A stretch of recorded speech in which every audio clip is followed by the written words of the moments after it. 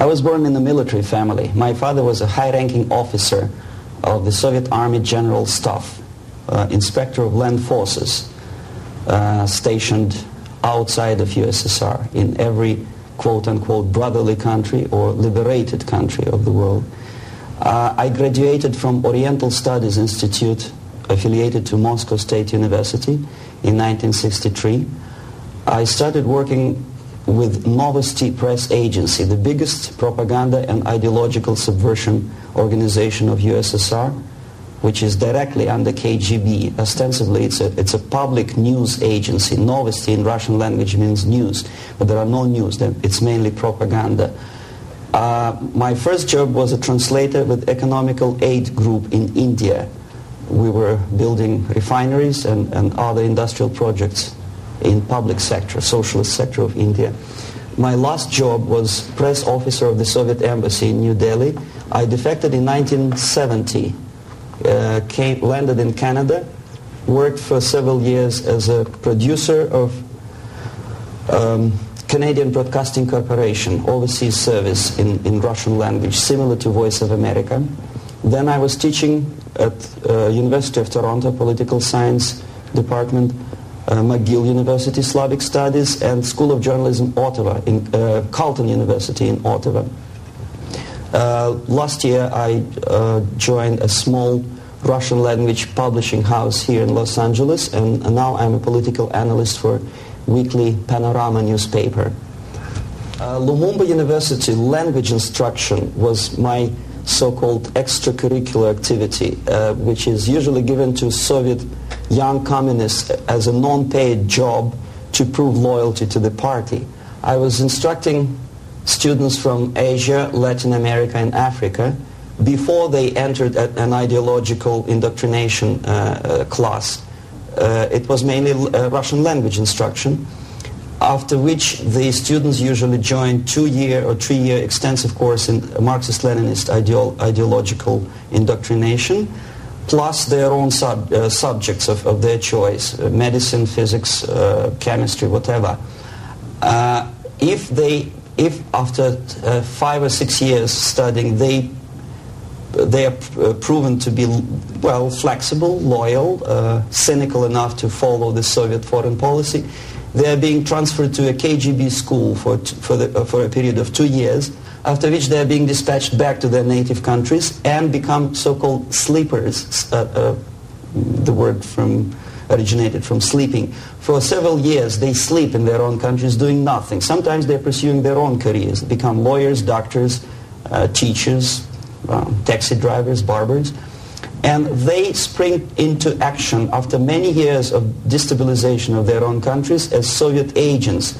Therefore, all of a sudden, you discover uh, well-established lawyers in, in, a country like Nicaragua who are, for some strange reason, are uh, bitterly against quote-unquote American imperialism and idealistically for Soviet uh, Marxist-Leninist imperialism. Uh, I joined Novosti Press Agency uh, before I graduated from the Oriental Studies Institute where I studied Hindi and Urdu, two languages of Indian subcontinent. Urdu is the language of Pakistan and Hindi is the language of India. The journalistic part of my training was ordinary journalism, mass media, uh, uh, communication theories and, and, studies.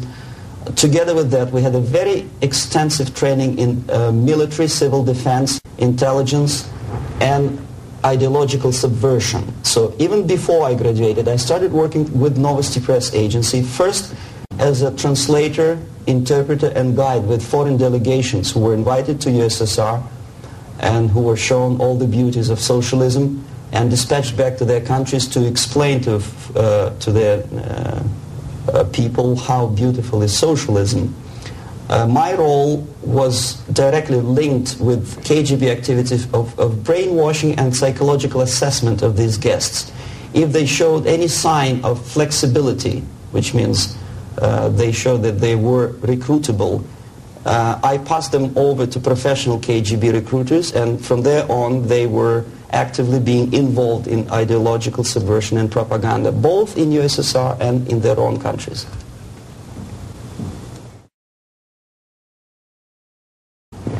Well, decision, of, of course, was very painful and, and difficult. But on the other hand, I didn't have any illusions or illusions about the Soviet system and, and communist or socialist system. It's the most rotten and unworking system in the world. Uh, some people call it state capitalism, socialism, centralized planning, whatever. It doesn't really matter what kind of name you attach to the system. Basically, if you're a religious person, it's a devilish, satan, satanistic system which appeals only to the most primitive, negative side of human nature. Uh, it, the, the basis of that system is denial of private property, human dignity, and, and, personal responsibility, and of course any religion, uh, religious affiliation of a human being to God as a supreme being. Uh, my dissatisfaction, disillusionment, if you, if you can call it, because I never was illusioned uh, uh, uh, with, this, with the communism, started as early as um, age, from age six, I guess. Uh, the first shock was after the Second World War, when most of the children of my age understood that United States is the friend uh, with whom together uh, Soviet people defeated Nazism, German fascism, all of a sudden turned into an enemy. Uh, and all of a sudden the propaganda turned 180 degrees around and we were brainwashed in the spirit of hatred to everything which is American. But how could you explain to a child of six years old who owes his survival to American spam condensed milk, egg powder, and things which you probably people never remember because nobody eats them these days. Spam meat, you know what I'm talking about? How can you explain to them that these delicious things came from an enemy who wants to subvert and destroy us?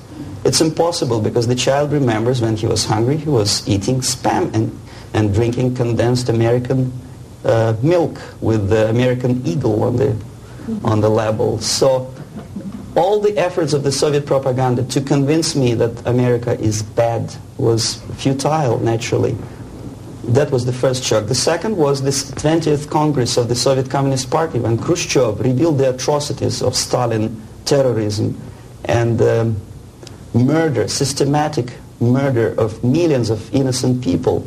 That was another greatest shock. Uh, and the third shock, of course, when I was already grown up, a, student, invasion into Czechoslovakia in 1968. That was the last point.